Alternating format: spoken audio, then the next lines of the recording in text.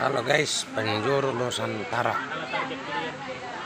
Saya di penjuru Tarutung. Air soda. Ini setelah mandi. Air soda guys. Yang letak di kota Tarutung. Baru berenang 2 jam. Ini harai guys, banyak peminat.